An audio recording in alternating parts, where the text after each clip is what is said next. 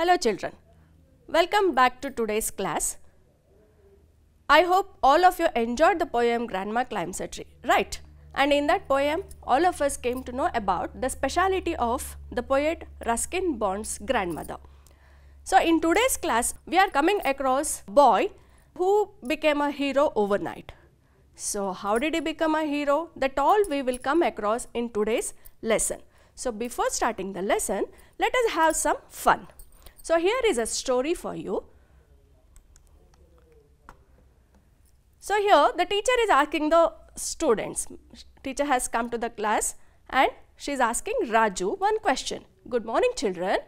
Raju, you tell me, if I give you an apple, one more and again one more apple, how many apples will you have with you? So this is a question for Raju. So what is Raju's answer? Raju replied, 4 apples ma'am. Is Raju's answer right? So teacher thinks that Raju might have got confused. So what did she do? She repeats the question but Raju gives the same answer. So now what did uh, teacher think? Teacher thinks that Raju likes strawberries. So if I replace apple with strawberries and ask him, then he may give the correct answer.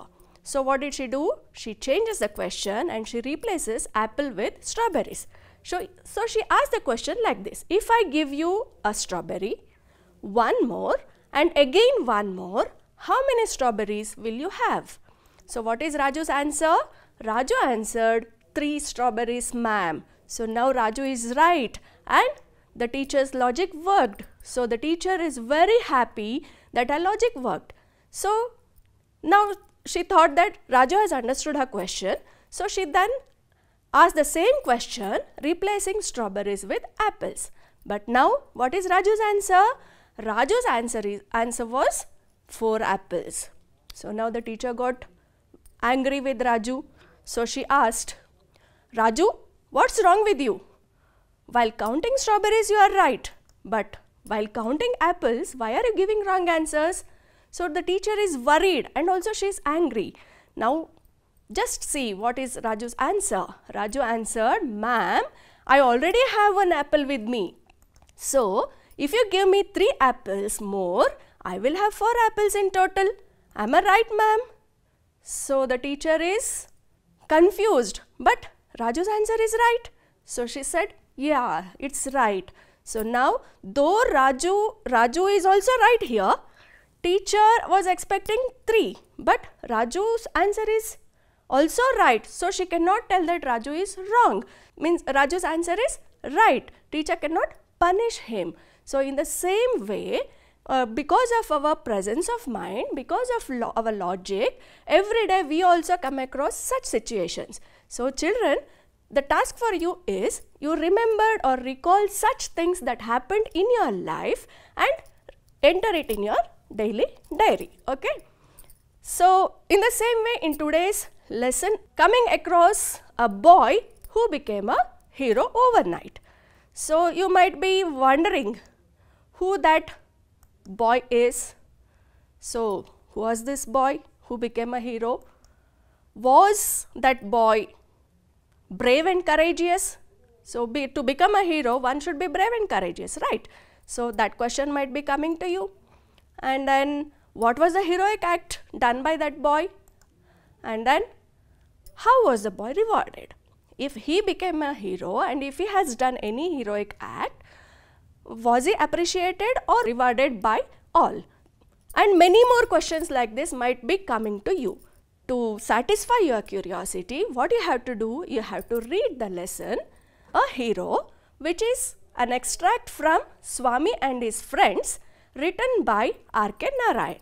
So before going to the lesson, before reading the lesson, let us know something about the author R.K. Narayan. R.K. Narayan, he is a familiar personality and I think all of you know him now. So what is his full name? R.K. Narayan's full name is Rasipuram Krishnaswamy Iyer Narayana Swamy but he is popularly known as R.K. Narayan and he was born on 10th October 1906 in Chennai.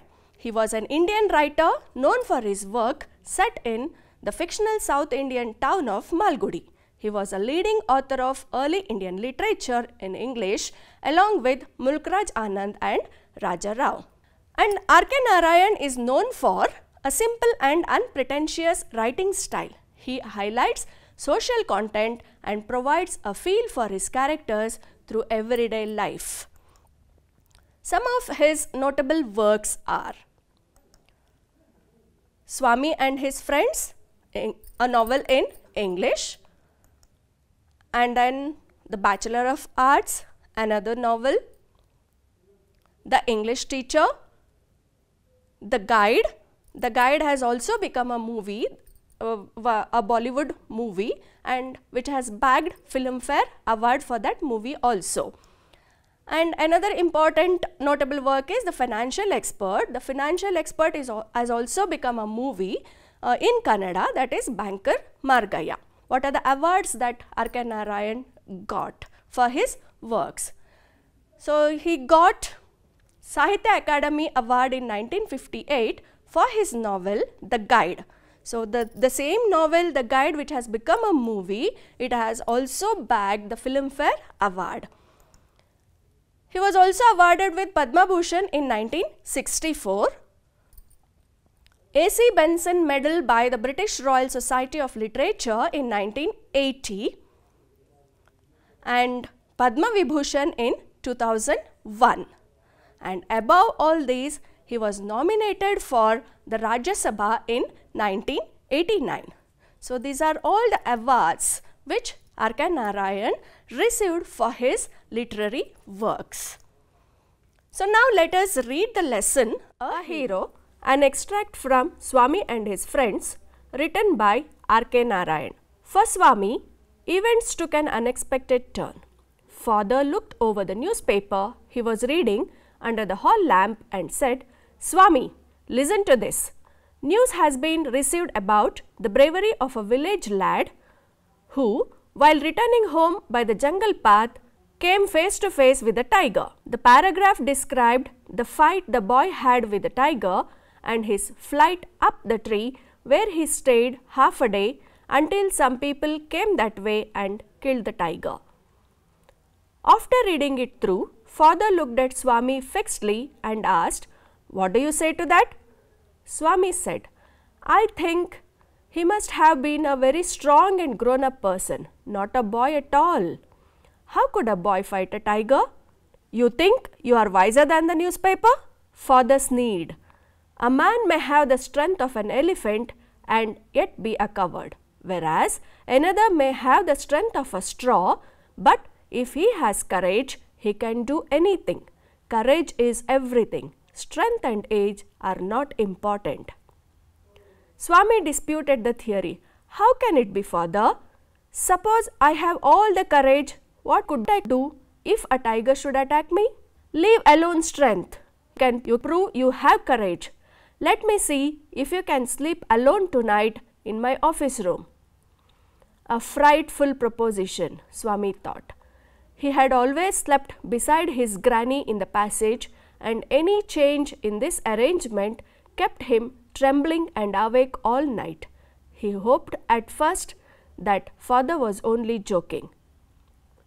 He mumbled weakly, Yes, and tried to change the subject. He said very loudly and with a great deal of enthusiasm, We are going to admit even elders in our cricket club hereafter. We are buying brand new bats and balls. Our captain has asked me to tell you. We'll see about that later. Further cutting. You must sleep alone hereafter. Swami realized that the matter had gone beyond his control. From a challenge, it had become a command. He knew his father's tenacity at such moments. From the first of next month, I'll sleep alone, father. No, you must do it now. It is disgraceful sleeping beside granny or mother like a baby. You are in the second form and I don't like the way you are being brought up, he said and looked at his wife who was rocking the cradle. Why do you look at me while you say it? she asked. I hardly know anything about the boy. No, no, I don't mean you, said father. If you mean your mother is spoiling him, tell her so and don't look at me, she said and turned away. Swami's father sat gloomily gazing at the newspaper on his lap. Swami rose silently and tiptoed to his bed in the passage. Granny was sitting up in her bed and remarked, Boy, are you already feeling sleepy? Don't you want to hear a story? Swami made wide gesticulations to silence his granny, but that good lady saw nothing. So, Swami threw himself on his bed and pulled a blanket over his face. Granny said, Don't cover your face. Are you really very sleepy? Swami leant over and whispered, Please, please shut up, Granny. Don't talk to me and don't let anyone call me even if the house is on fire. If I don't sleep at once, perhaps I shall die. He turned over and curled and snored under the blanket till he found his blanket pulled away. Presently, his father came and stood over him. Swami, get up, he said. He looked like an apparition in the semi darkness of the passage, which was lit by a cone of light from the hall. Swami stirred and groaned as if in sleep. Father said, Get up, Swami. Granny pleaded, Why do you disturb him? Get up, Swami, said father for the third time, and Swami got up. Father rolled up his bed, took it under his arm, and said, Come with me. Swami looked at Granny, hesitated for a moment, and followed his father into the office room. On the way, he threw a look of appeal at his mother, and she said, Why do you take him to the office room? He can sleep in the hall, I think. I don't think so, father said, and Swami slunk behind him with bowed head. Let me sleep in the hall, father, Swami pleaded. Your office room is very dusty and there may be scorpions behind your law books. There are no scorpions, little fellow. Sleep on the bench if you like. Can I have a lamp burning in the room? No, you must learn not to be afraid of darkness. It is only a question of habit. You must cultivate good habits. Will you at least leave the door open? All right, but promise you won't roll up your bed and go to your granny's side at night. If you do it, I'll make you the laughing stock of your school. Now we have read the lesson and while reading the lesson we have come across many new words, right? Let's know the meaning and usage of these new words now. So the first, uh, in the first paragraph we came across the bravery of a village lad, right? Bravery. So what is the meaning of bravery? Bravery means act of courage. ಧೈರ್ಯವನ್ನು ತೋರಿಸುವಂಥದ್ದು ಶೌರ್ಯ last year you might have read about this boy that is Venkatesh, a 12 year old boy of Raichur who was awarded National Bravery Award in 2019. Why? Why was he awarded National Bravery Award? Because he risked his own life to help an ambulance go through a submerged bridge. He was awarded Bravery Award in 2019. Next word that we came across is flight. Flight up the tree. The boys flight up the tree. Flight means stay on the tree or stay up in the air. So here in this lesson, it means staying on the tree. So we can use it in the sentence uh, like this. Uh, Roshan enjoyed his flight up the tree. Another uh, word is sneer. Father sneered at Swami, right? So sneer. What is the meaning of sneer? Sneer means speak in a mocking manner. ವ್ಯಂಗ್ಯವಾಗಿ ಮಾತಾಡು or ತಿರಸ್ಕಾರದ ಮಾತನ್ನ ಆಡು. So that we can use it as Bhavya sneered at Veena for not helping her in cleaning the house. Next word is courage. What is the meaning of courage? Act of fearlessness, dhairya. So we can use this courage as we should face the challenges with courage. ಯಾವುದೇ ಸಮಸ್ಯೆ ಬಂದ್ರೂ ಕೂಡ ಧೈರ್ಯದಿಂದ ಎದುರಿಸಬೇಕು dispute what is the meaning of dispute argument R a disagreement so here the two boys are what are they doing two boys are quarreling. They are having a disagreement. Chintu and Mintu had a dispute over a toy. Next word is frightful preposition. So, while reading the lesson, we came across that sleeping alone in the office room was a frightful preposition for Swami. So, what is frightful preposition? Frightful preposition means a shocking suggestion that whatever we don't want to do, that if someone asks us to do, that will become a shocking suggestion for us. Right. What are we seeing in this picture? A girl reading. So, it is a habit of the girl to read while traveling. So, if someone tells her, Rubina loves reading books while traveling. So, if someone tells her not to uh, read while traveling, it will become a frightful proposition for her. So, it was a frightful proposition for her to travel without reading. Tremble. Tremble means shake ಇನ್ವಾಲಂಟರಿಲಿ ನಡುಗು ಭಯದಿಂದ ನಡುಗೋ ಅಂಥದ್ದು so here look at the picture. In the picture, the boy is shaking. So, we can use it as John trembled with fear when he saw a rat in his room. Mumble. So, what is mumble? ಗೊಣಗು unclear talk ಸರಿಯಾಗಿ ಕೇಳಿಸದೇ ಇರೋ ಹಾಗೆ ಮಾತಾಡೋ ಅಂಥದ್ದು Sonu ಮಂಬಲ್ಡ್ when his father asked him why he was late from school the next word is enthusiasm. Enthusiasm means utsaha, feeling of excitement. All the students participated in cultural program with enthusiasm. Next word is tenacity. Tenacity means determination, dridate. So, Ramya's tenacity made her get selected for the quiz competition Gloomily. Gloomily means in despair, ಬೇಸರದಿಂದ. Abhi sat gloomily under a tree as he could not find his pet dog. Tiptoed.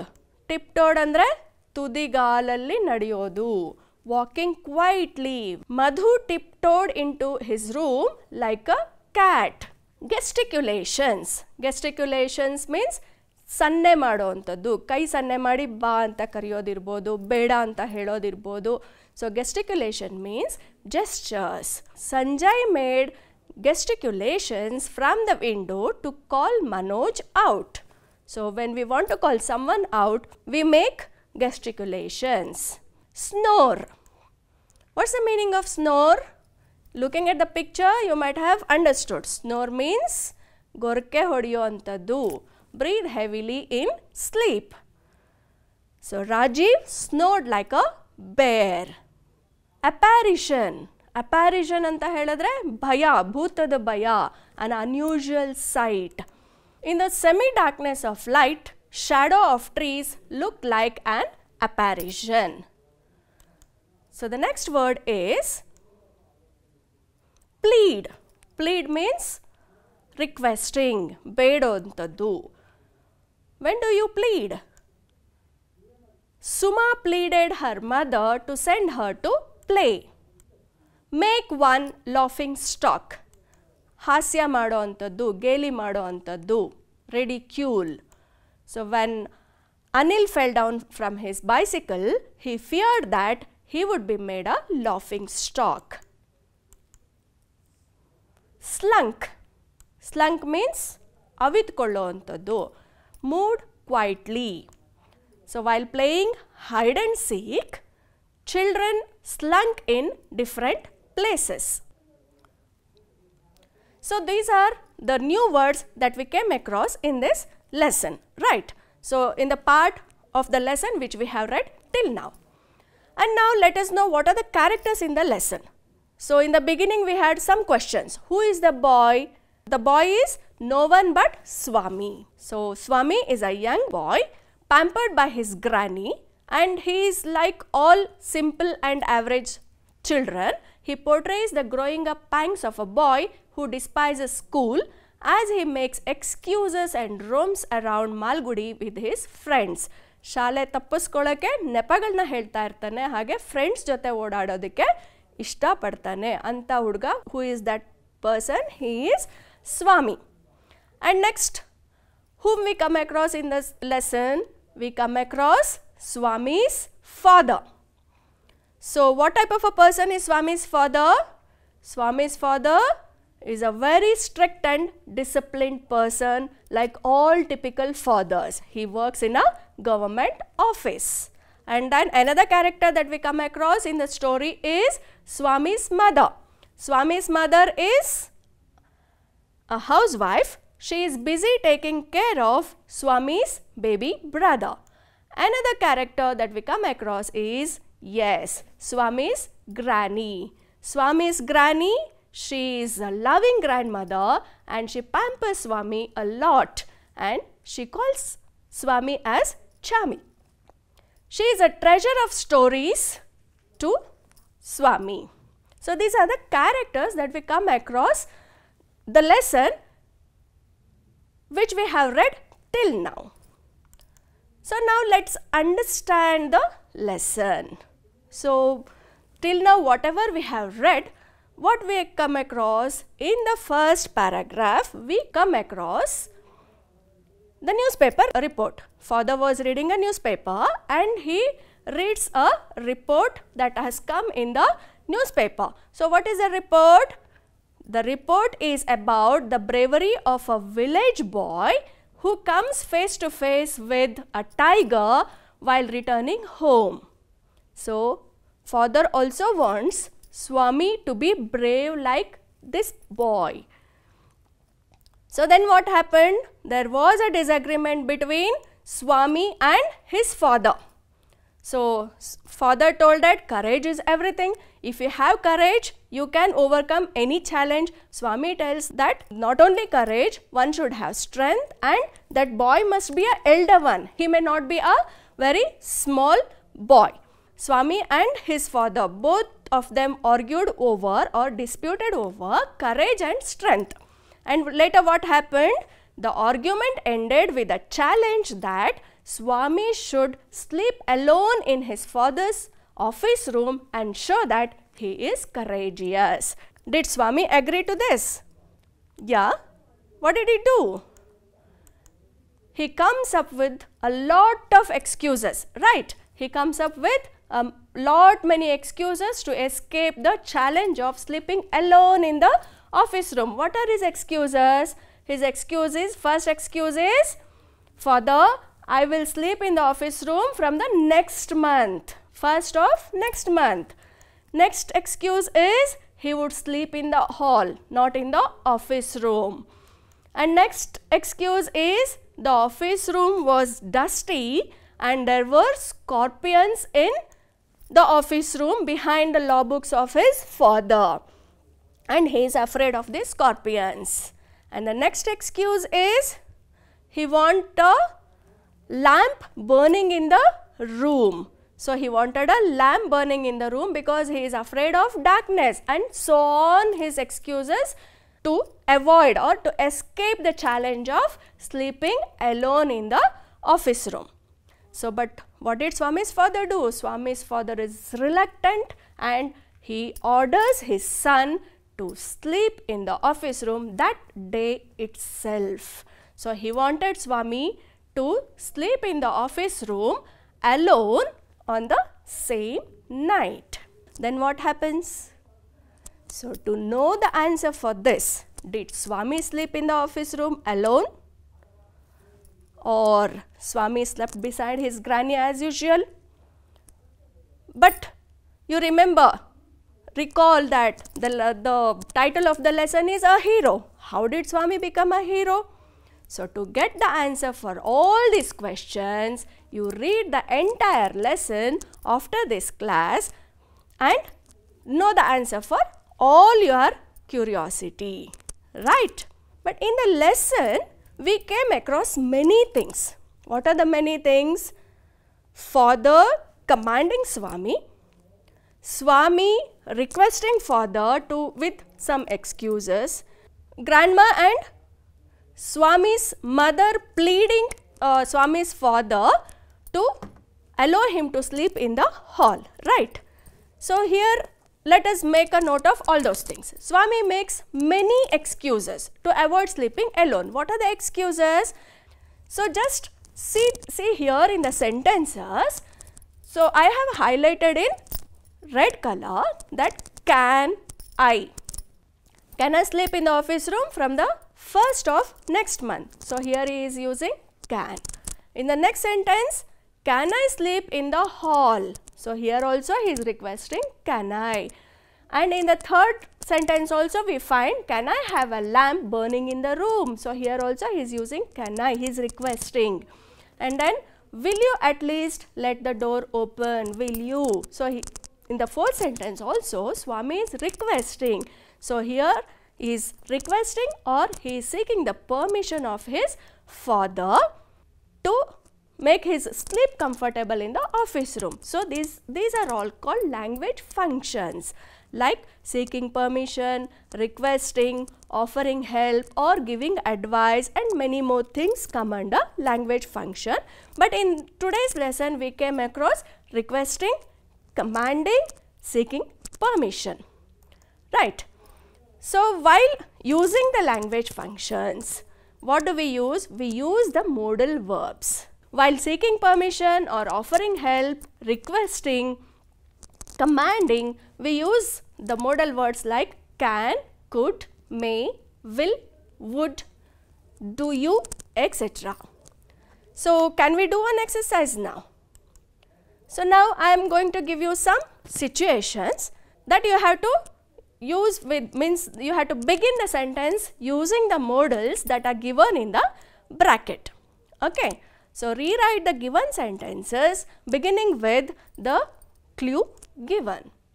So, the first sentence is, is it right if I sit here? So, the person is asking or he is asking the permission. So, what can I say instead of is it right if I sit here? If I am requesting or if I am seeking permission, what should I ask? I should ask, could I sit here? Right? Okay. Now, we shall move on to the second situation here. So, here we are seeing two persons, one person near the regulator, the fan is there. What might be the situation? It goes like this. Let me switch on the fan, okay? So, here you have to begin the sentence with do you. Do you mind if I switch on the fan? So, here he is offering help. Next situation is, so here he is holding some books, other person is asking something. What he may be asking? He is telling, please return my library books. This is also a request, but you have to begin the sentence with will. So, how can you reframe the sentence? It can be reframed like this. Will you return my library books? The files are heavy. I will carry them for you. So, he is offering help. So, you have to reframe the sentence using would. So, how the sentence can be reframed? Yes, it is like this. Would I carry these books for you? So, he is offering help. Okay. So, the assignment for today is you have read the lesson from paragraph number 1 to paragraph number 11, right? So, you have to answer these questions. Question number 1, what was the newspaper report about? Question number 2, what did Swami and his father debate on? Question number 3, how should Swami prove that he had courage? Okay, later we came across modals, right? So, now you have to rewrite the given sentences begin with the clues given. So, the first sentence is tomorrow is a holiday. I want to play with my friends. So, you are seeking the permission of your parents. So, you have to begin the sentence with can I. Second sentence is please help me in completing my classwork. You are asking your friend. So, you have to begin the sentence with could you and in page number 1 at the top of the textbook there is a QR code. If you scan this QR code using your smartphone, it will take you to Diksha app and there you will get all the questions and answers and many more exercises related to this lesson and submit to your class teacher. Okay children. So I think all of you enjoyed the lesson and come prepared for the next class. Thank you.